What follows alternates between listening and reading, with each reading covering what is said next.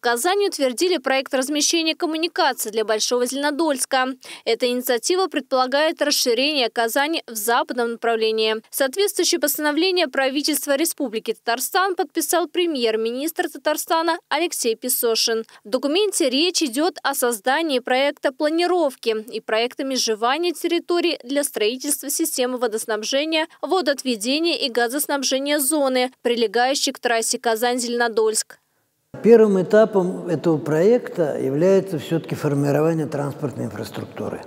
Потому что пока эта транспортная структура полноценно не, не сформируется в проектном плане, а частично даже не будет реализована, то возможности для развития вот этой смычки между Зеленодольском и Казанью, она э, будет идти таким э, неровным, я бы сказал, и стихийным образом. Концепция Большого Зеленодольска предполагает строительство жилых массивов вдоль оси трассы, связывающей Зеленодольск со столицей республики. Проект разделен на два этапа. Всего до 2030 года на 10 тысяч гектаров планируют возвести примерно 5,7 миллионов квадратных метров жилья. Строить будут как многоквартирные, так и индивидуальные дома. Эта связка между Казанью и Зеленодольском будет очень такой серьезной.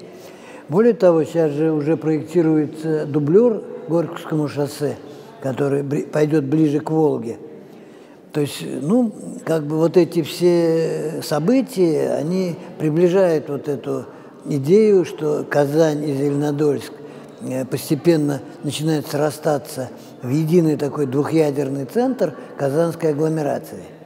Помимо этого, Большой Зеленодольск предполагает возведение 44 детсадов, 25 школ и трех поликлиник. Строить новое жилье будут вдоль дорог. Для решения проблем с дорожными заторами разрабатывается проект по расширению Горьковского шоссе. Также прорабатывается возможность запустить электропоезда по маршруту Салават-Купаре – Новая Тура. Елизавета Никитина, Александр Кузнецов, Универньюз.